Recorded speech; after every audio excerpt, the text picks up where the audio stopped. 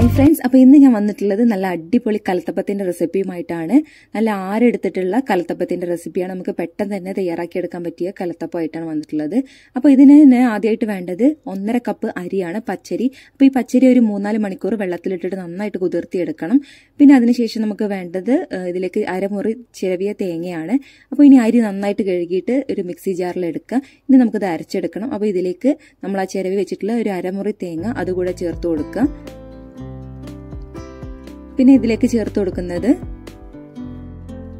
കഴുകിയെടുത്തിട്ടുള്ള അരിയും അതുപോലെ ചിരവി വെച്ചിട്ടുള്ള തേങ്ങയും ഇതിലേക്ക് ചേർത്ത് കൊടുക്കുന്നുണ്ട് മിക്സി ജാറിലേക്ക്. പിന്നെ നമുക്ക് ബാക്കിയുള്ള ഇൻഗ്രീഡിയൻസ് കൂടെ ചേർത്തിട്ട് അരച്ചെടുക്കാം.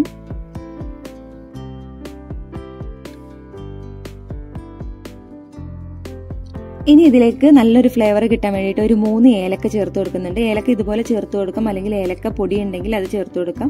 അല്ലെങ്കിൽ ഏലക്കന്റെ വിത്ത് മാത്രം അതിന്റെ ആ ഒരു കുരു ഉണ്ടല്ലോ അത് മാത്രം ചേർത്ത് കൊടുത്താലും മതി. ഇനി ചേർത്ത് കൊടുക്കുന്നത് ഒരു രണ്ട് ടീസ്പൂണ് ചെറിയ ജീരകമാണ്. അപ്പോൾ അതൊക്കെ ചേർത്ത് കൊടുക്കുമ്പോൾ നല്ലൊരു ടേസ്റ്റ് ഉണ്ടാവും നമ്മുടെ കാലത്തപ്പത്തിന്. ഇതെല്ലാം ചേർത്തിട്ടൊന്ന് അടിച്ചെടുക്കണം. പിന്നെ ഒരു ഒരു കയ്യിൽ ഞാനിതുപോലെ ചോറ് ചേർത്ത് കൊടുക്കുന്നുണ്ട്. അപ്പോൾ നല്ല സോഫ്റ്റ് ആയിട്ട് കിട്ടും.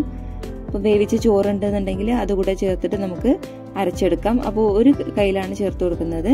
പിന്നെ ഇതിലേക്ക് ഒരു നാലച്ച് ശർക്കര ഇട്ട് കൊടുക്കുന്നുണ്ട്. ശർക്കര ഇതുപോലെ ഇട്ട് കൊടുക്കാം. അല്ലെങ്കിൽ ശർക്കര പാനിയായിട്ടും ചേർത്ത് കൊടുക്കാം. ഞാനിപ്പോൾ പെട്ടെന്നാവാൻ വേണ്ടിയിട്ട് ആണ് ഈ ഒരു ശർക്കര അച്ച് അതുപോലെ ചേർത്ത് കൊടുക്കുന്നത്. നല്ലത് പാനിയാക്കിയിട്ട് ശർക്കര പാനി ഒഴിച്ചു കൊടുക്കുന്നതാണ്.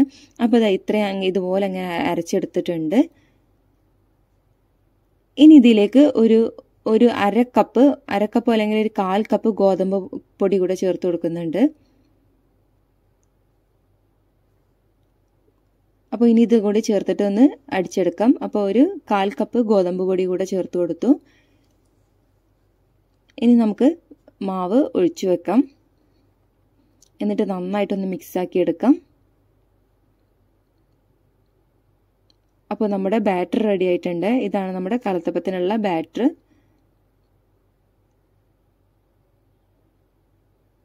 നന്നായിട്ടൊന്ന് മിക്സ് ചെയ്ത് കൊടുക്കാം. ഇനി ഒരു അല്പം ഉപ്പ് കൂടെ ചേർത്ത് കൊടുക്കാം. എന്നിട്ട് നന്നായിട്ട് മിക്സ് ചെയ്തെടുക്കാം. ഇനി ഇതൊരു രണ്ട് മൂന്ന് മണിക്കൂർ ഇതുപോലെ ഈ ഒരു മാവ് ഒന്ന് റസ്റ്റ് ചെയ്യാൻ വേണ്ടിയിട്ട് വെക്കണം. അതിനുശേഷം മാത്രമേ നമ്മൾ കുക്കറിൽ ഒഴിക്കാവൂ. കുക്കറിൽ അല്ലെങ്കിൽ ചട്ടിയിൽ ഒഴിക്കാവൂ. അപ്പോൾ ഇനി മാവ് ഒന്ന് ഒരു രണ്ട് മൂന്ന് മണിക്കൂർ ഒന്ന് സെറ്റ് ആവാൻ വേണ്ടിയിട്ട് ഇരിക്കട്ടെ. അപ്പോൾ നമുക്കിതൊന്ന് റസ്റ്റ് ചെയ്യാൻ വേണ്ടിയിട്ട് വെക്കാം.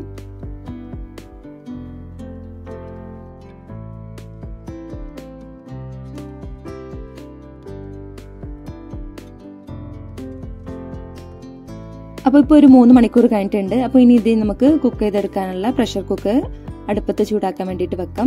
അപ്പോൾ ആദ്യം കുക്കർ എടുത്തിട്ട് ഫ്ലെയിമിൽ വെച്ചിട്ടുണ്ട്. ഇനി ഇതിലേക്ക് അല്പം എണ്ണ ഒഴിച്ചു കൊടുക്കാം. ഇനി ഈ ചെറിയുള്ളി ഉണ്ടല്ലോ ചെറിയുള്ളി ഇതിലിട്ടിട്ട് ഒന്ന് മൂപ്പിച്ചെടുക്കുകയാണ് ചെയ്യുന്നത്. അത്യാവശ്യം കുറച്ച് എണ്ണ ഒഴിച്ചു കൊടുക്കണം. ഇനി എണ്ണ ചൂടായതിനു ശേഷം നമുക്ക് ചെറുള്ളി ഇതിലിട്ടിട്ട് മൂപ്പിച്ചെടുക്കാം. ചെറുള്ളി അതുപോലെ തേങ്ങാക്കൊത്ത് ഉണ്ടെങ്കിൽ തേങ്ങാക്കൊത്ത് ഇതുപോലെ ഇതിലിട്ടിട്ട് വറുത്തിട്ട് മൂപ്പിച്ചെടുത്തു കഴിഞ്ഞാൽ കുറച്ചും കൂടി നല്ല ടേസ്റ്റാണ് ഞാനിപ്പോൾ ചെറുള്ളി മാത്രമാണ് ചേർക്കുന്നത്. നിങ്ങൾക്ക് വേണമെങ്കിൽ തേങ്ങാക്കൊത്ത് കൂടെ ചേർത്ത് കൊടുക്കാം.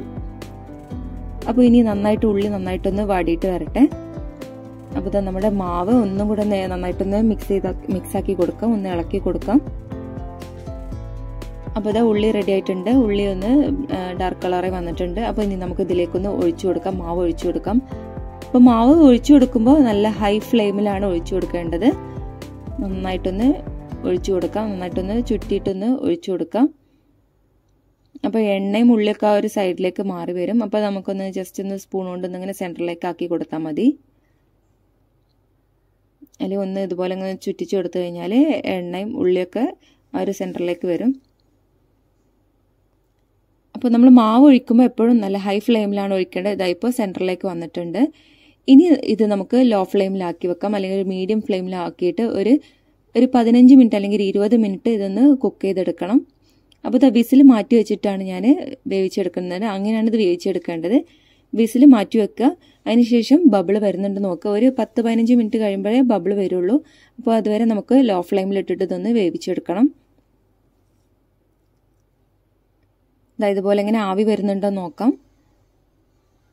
അപ്പോൾ ഇപ്പോൾ ഒരു പതിനഞ്ച് മിനിറ്റ് കഴിഞ്ഞിട്ടുണ്ട്. ഇതാ ഏകദേശം റെഡി ആയിട്ടുണ്ട്.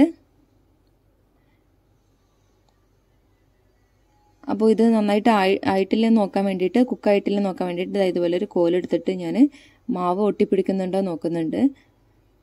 അപ്പോൾ ഇത് ചെറുതായിട്ട് ഒന്നും കൂടി ഒന്ന് ആവുന്നുണ്ട് അപ്പോൾ നമുക്കൊരു അഞ്ച് മിനിറ്റ് കൂടെ ഒന്ന് അടച്ച് വെച്ചിട്ട് വയ്ക്കുക അതുപോലെ നോക്കി കഴിഞ്ഞാൽ നമുക്ക് മനസ്സിലാവാൻ പറ്റും. ഇത് കുക്കായിട്ടുണ്ടോ ഇല്ലയെന്ന് വേണ്ടിയിട്ട്. ഇടയ്ക്ക് തുറന്ന് നോക്കുകയൊക്കെ ചെയ്യാം. അപ്പോൾ ഇത് ഒരു അഞ്ച് മിനിറ്റും കൂടെ നമുക്കൊന്ന് വേവിച്ചെടുക്കാം ലോ ഫ്ലെയിമിലിട്ടിട്ട്. നല്ല ഈസിയാണിത് തയ്യാറാക്കി എടുക്കാനായിട്ട്. അപ്പോൾ ഇത് നമ്മുടെ കലത്തപ്പം റെഡി ആയിട്ടുണ്ട്. കലത്തപ്പം അല്ലെങ്കിൽ കുക്കറപ്പം റെഡി ആയിട്ടുണ്ട്.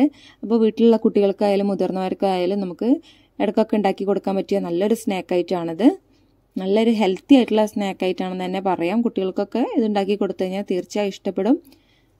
അപ്പോൾ ഇതുപോലെ കൂടുതൽ റെസിപ്പീസുമായിട്ട് വീണ്ടും കാണാനായിട്ട് ഈ ചാനൽ മറക്കാതെ സബ്സ്ക്രൈബ് ചെയ്യുക. ഇഷ്ടപ്പെട്ടെങ്കിൽ ലൈക്ക് ചെയ്യുക ഷെയർ ചെയ്യുക. അപ്പോൾ ഇത് ഞാനിത് ഇതുപോലെ കട്ട് ചെയ്തെടുത്തിട്ടുണ്ട്. ഇതുപോലെ കട്ട് ചെയ്തിട്ട് നമുക്ക് കുട്ടികൾക്ക് കേൾക്കാണെന്നൊക്കെ പറഞ്ഞിട്ട് കൊടുത്തു കഴിഞ്ഞാൽ അവർക്ക് തീർച്ചയായിട്ടും ഇഷ്ടപ്പെടും. അപ്പോൾ താങ്ക് ഫോർ വാച്ചിങ്